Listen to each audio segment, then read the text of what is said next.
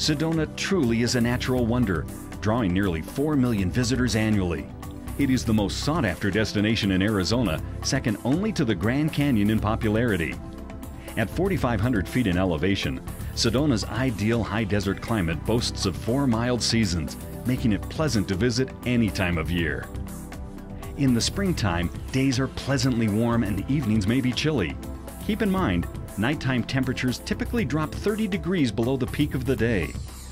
Summer in Sedona is characterized by hot days and perfect evenings, making it an ideal recreational playground for camping, swimming, hiking, mountain biking, shopping, and whatever else your family desires.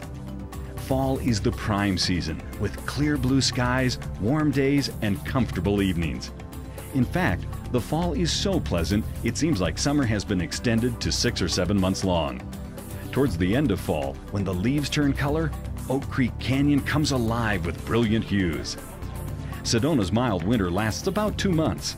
Occasionally, a snowfall may dust the red rocks, and what a beautiful sight it is, creating a contrast for outstanding photo opportunities. Be sure to take pictures in the morning, since the snow is usually gone by noon. Daytime temperatures are always above freezing.